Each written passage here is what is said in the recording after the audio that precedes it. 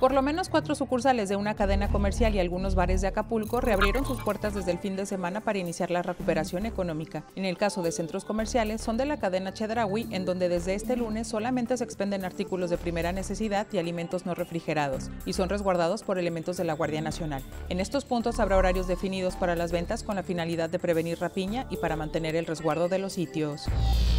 La caravana Acuérdate de Acapulco llegó a la Ciudad de México para exigir al presidente Andrés Manuel López Obrador y a las y los diputados federales la reactivación del Fondo de Desastres Naturales porque con el plan que pretende implementar no se logrará la reconstrucción integral de la zona devastada por el huracán Otis. Al menos 300 habitantes del puerto de Acapulco, encabezados por el exalcalde Evodio Hernández, salieron la mañana del domingo en caravana rumbo a la capital del país. Sin embargo, reportes de medios locales aseguran que elementos de la Secretaría de Seguridad Ciudadana impidieron el paso de la caravana hacia el Zócalo capitalino.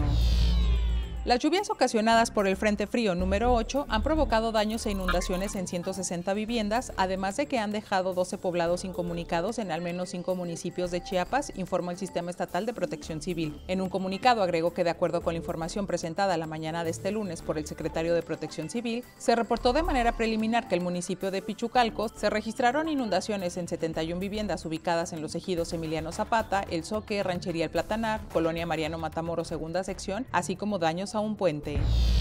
La médica mexicana Bárbara Lango y su esposo Sulaimán Al-Fayumi llegaron a México luego de casi un mes de estar atrapados tras el estallido del conflicto entre el grupo terrorista Hamas e Israel el pasado 7 de octubre, informó este domingo la Secretaría de Relaciones Exteriores. Lango es la segunda y última médica mexicana que estaba atrapada en la franja de Gaza y su salida se suma a la de Michelle Rabel, quien el jueves pasado ya estaba en Egipto y también ya se encuentra en territorio mexicano. Ambas eran colaboradoras de Médicos Sin Fronteras en Gaza y quedaron atrapadas en el conflicto armado.